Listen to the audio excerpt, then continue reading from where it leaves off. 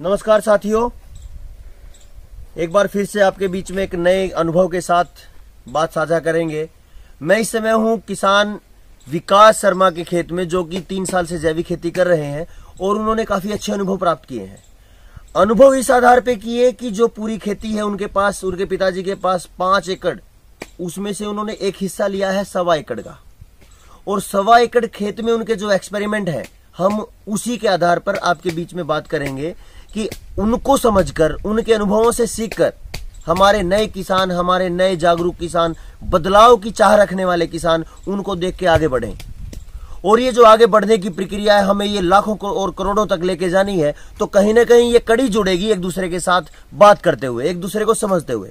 और मैंने पहले भी आपको बोला था कि बिना जानकारी के, अधूरी जानकारी के साथ कभी भी जैविक खेती में न आए। दूसरा कम मेहनत के साथ जैविक खेती न करें और तीसरा लोग क्या कहेंगे इसको कभी नहीं देखना। आप सही रास्ते पर हैं देश को जहर से बचाने के रास्ते पर हैं और खुद को कैंसर जैसे भयानक रोगों से दूर करने के रास्ते पर हैं। इसी कड़ी में हम बात करते हैं भाई विकास शर्मा जी से। आइए मिलते हैं। विकास भाई नमस्कार। नमस्कार भाई सभी किसान भाइयों को नमस्कार। मैं आपके पास एक मेरे किसान साथियों को और इस देश को जहर से दूर करने वाले नौजवान विचारों को आप तक और आपके विचार तक लेके आने के लिए आपके पास हूँ। आपके क्या अनुभव रहे? आपने शुरुआत कैसे की? कहाँ से आपका विचार आया? एक बार आप जरा बताइए कि साथी जो हमारे साथ जुड़े हैं, उनको कुछ आपसे सीख कर आगे बढ़ने की प्रेरणा मिले। सबसे पहले हम जैविक खेती के बारे में सोचते थे पता नहीं इसमें क्या होता कितनी मेहनत करनी पड़ेगी क्या होगा। लेकिन उसके बाद जैसे मैंने कि, किसान मित्र के रूप में डॉक्टर श्याम सिंह के पास काम किया और वहाँ से मेरे को गाँव के भाई थे सुनील भाई जी। पहले हम सुनील जी को मिलते थे तो ये सोचते थे कि ये जैविक खेती का तो बस एक नाम नाम की है इसमें कुछ नहीं है इसके अलावा। लेकिन वहाँ से पता चला कि जैविक खेती अच्छी चीज़ है और डॉक्टर साहब से और सुनील जी से मिलने के बाद हमने मन बनाया और छह महीने सम, सोचने समझने के बाद दे, प्रैक्टिकल देखने के बाद हमने खेती की और सबसे पहले हमने गेहूँ के ऊपर किया। सी तीन सौ छह गेहूँ लेके आए हम सुनील जी के पास से और मैंने एक एकड़ में शुरुआत की। शुरुआत की। मैं आपको बता देना चाहता हूँ मेरे साथियों ये मेरे साथ जो हैं किस विकास शर्मा एक जैविक किसान। ये केवल और केवल एक किसान ही नहीं इकोनॉमिक्स से मास्टर्स हैं, बहुत जागरूक पढ़े लिखे सामाजिक ज्ञान इनके अंदर है, और खेती के विज्ञान को गहराई से समझकर इन्होंने आगे बढ़ने का जो कदम उठाया है, वो काबिल तारीफ़ है। और मुझे ये अच्छा लगता है कि मेरे बारे में लोग बोलते थे, यार इंजीनियर हो, खेती कर रहे हो। तो अच्छा है, चलिए। लेकिन मैं इंजीनियर हूँ तो मेरे साथ एक मैनेजर भी हैं इकोनॉमिक्स के मास्टर भी हैं, अर्थशास्त्री भी हैं। तो एक मास्टर, एक इकोनॉमिक्स का अर्थशास्त्री मेरे साथ है इंजीनियर मेरे साथ हैं प्रोफेसर मेरे साथ हैं, आप सबके साथ हैं। तो एक इंजीनियर के साथ जब एक अर्थशास्त्री जुड़ेगा तो आप समझिएगा हम खेती को कहाँ लेके जाने वाले हैं। तो आप इस विचार से जुड़िए कि हमारे साथ कोई ऐसे वैसे आदमी नहीं, हमारे साथ पढ़े लिखे, समाज के नौजवान जागरूक साथी हैं। तो आपने किसान मित्र के रूप में काम करते हुए श्याम सिंह जी से पूछा फिर हमने भी साथ में चर्चा की। और एक सबसे बड़ी बात यह है, विकास और सुनील, दो बचपन के साथी हैं जो एक साथ पांचवी, छठी क्लास तक पढ़े। और हम खेती को, जैविक खेती में बदलकर, देश को बदलने की तरफ़ भी एक साथ बढ़ चले हैं। तो अभी आपका क्या अनुभव रहा कि पिछले जो तीन साल में क्या क्या चेंज आए और क्या क्या आपको समझ आया? सुनील जी, सबसे पहले हमने तीन सौ छह गेहूँ बीजा और उसमें बीजने के बाद, पहले पानी के बाद हमने निराई गुडाई की।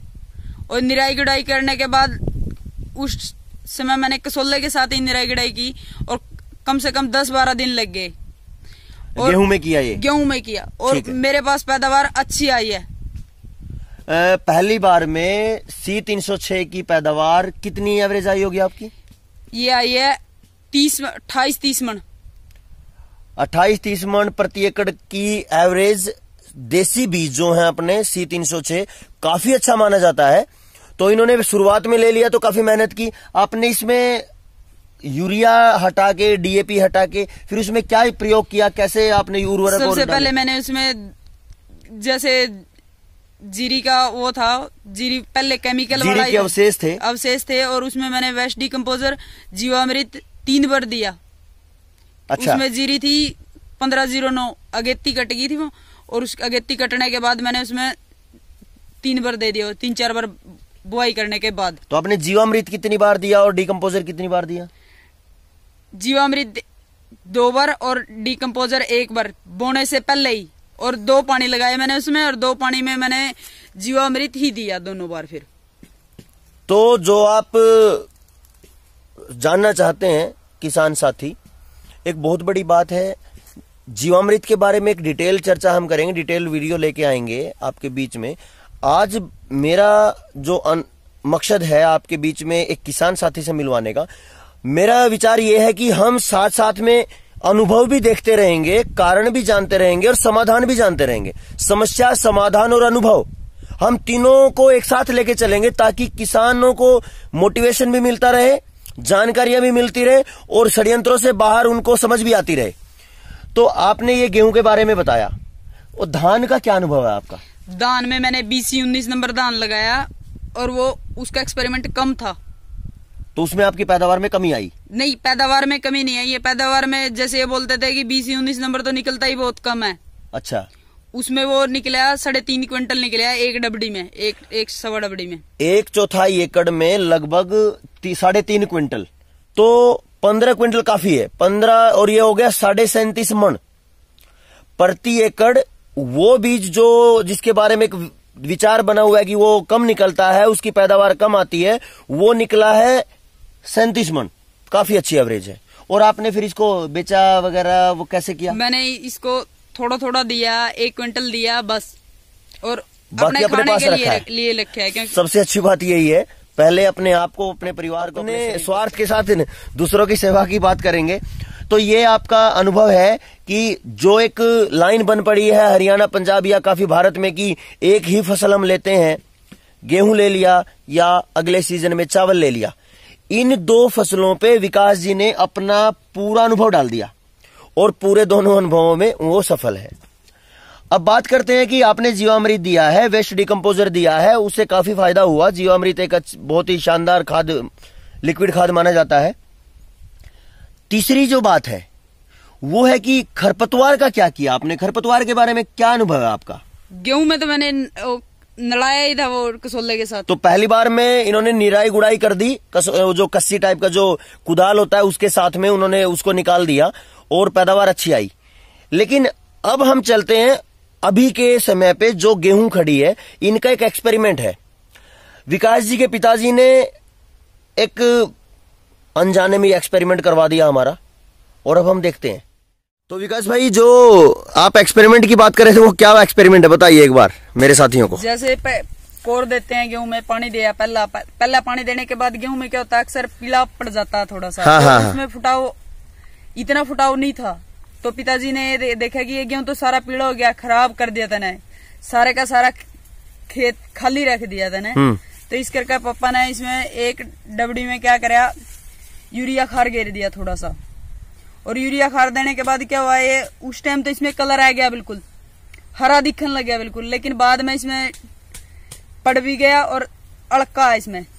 मतलब इतना एक्सपेरिमेंट समझ आया, ये अनुभव समझ आया कि जिस खेत में जो सी तीन सौ छह गेहूँ था, उसमें यूरिया पड़ते ही रंग तो बदल गया, लेकिन कमज़ोर पड़ गया और उसमें सबसे बड़ी बात खरपतवार की। हाँ खरपतवार काफ़ी खरपतवार है। ये खरपतवार हरियाणा पंजाब में है यूपी में भी है और इसको हरियाणा पंजाब की तरफ़ गुल्ली डंडा और मंडूसी बोलते हैं और यूपी में इसको बन गेहुआ बोलते हैं।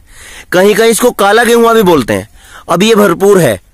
किस खेत में? जहाँ पे यूरिया डाला गया। हाँ, जहाँ पे यूरिया डाल दिया। यूरिया डाला गया। और ये आप दूसरी वीडियो भी देख सकते हैं डिस्क्रिप्शन में मैं डालूँगा। अब एकदम सटा के जो दूसरी क्यारी है। इधर आइए भाई। जो हम देखना चाहते हैं, ये जो देखिए, इस खेत में एक पौधा भी खरपतवार नहीं है। एक पौधा दिख, देखने के लिए भी खरपतवार नहीं है। और गेहूँ वही है। अब ये सरासर समझने वाली बात है और सरासर झूठ है कि भाई दवाइयाँ, केमिकल हमारे खरपतवार को खत्म कर देंगे। कहीं तक भी ऐसा नहीं होने वाला है।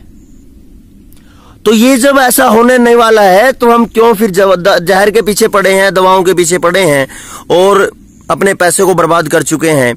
और मैं आपको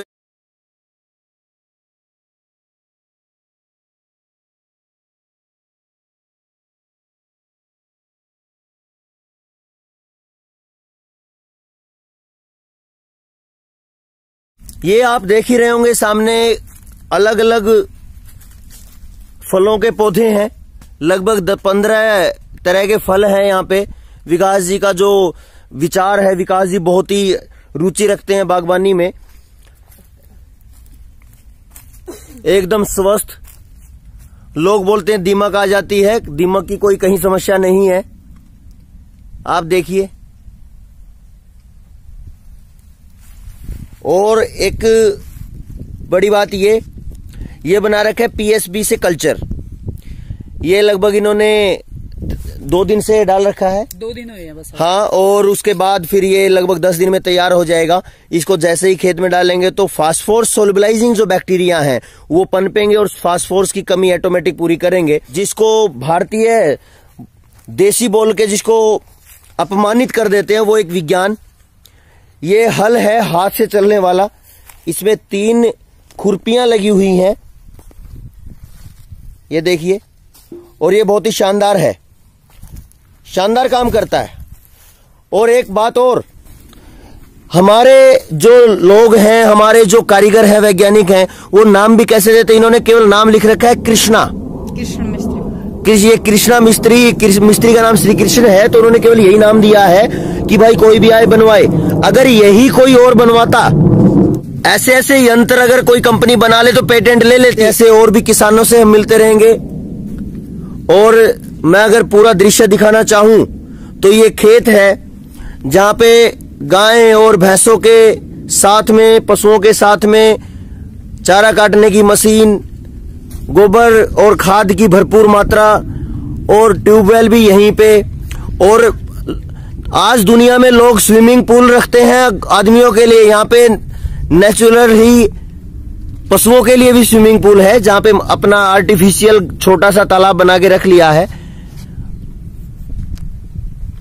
तो बहुत ही अच्छा लगता है विकास भाई के साथ आगे। राम राम भाई राम राम भाई। विकास जो कर रहा है इसमें के विचार है आपका? के समझ आ रही है? ठीक कर रहे हो? हाँ बढ़िया कर रहे भाई। बहुत अच्छे हुए हैं। जीरी हुई बहुत अच्छे क्यों हुए हैं? आप खुश हो? हाँ बहुत खुश है। अच्छा जो विकास कर रहा है विकास ने जब देखेंगे दूसरे तो उन्हें बदलना चाहिए नहीं बदलना हाँ, चाहिए? बदलना चाहिए भाई। और क्यों बदले में उन्हें क्यों बदलना चाहिए? अभी विकास बदलना चाहिए? भाई जहर खा खा बीमार हो रहे हैं। हाँ। अच्छे खावे अच्छे इसी तरह अच्छे तो मतलब काम ठीक है यो? काम ठीक है बढ़िया। विकास तो कोई समस्या नहीं। ना कोई समस्या नहीं। बहुत बढ़िया था न्यू पूरा परिवार अगर साथ देगा कि इन नौजवानों का तो हम बहुत आगे बढ़ेंगे। और ये हमारे लिए एक बहुत ही कारगर रहेगा और हम बहुत अच्छे परिणाम लेके आएँगे। तो विकास भाई और ताई आप एक दूसरे का सहयोग और ताऊ के साथ मिलके एक सामंजस्य बैठा के रखो ताकि आपको देख के आपके परिवार को देख के और आपके खेत के परिणाम को देख के ये समाज भी बदले और हमारा पूरा देश, हमारा पूरा समाज जहर से दूर होके और ताई की तरह खुश हो जाए कि हमारा बच्चा अच्छा कर रहा है। आप सबका बहुत बहुत धन्यवाद। और जितने साथियों ने देखा, जितने साथियों ने सुना, विकास भाई के अनुभव को समझा, आप सब भी अपने परिवार को समझा के खेत के जहर को बदलें, अपने थाली में पड़ने वाले जहर को बदलें। हम सब अच्छे रास्ते पे चल पड़े। ज़्यादा से ज़्यादा साथी शेयर करें सब्सक्राइब करें, ताकि और लोगों तक भी जानकारी पहुँचे। धन्यवाद।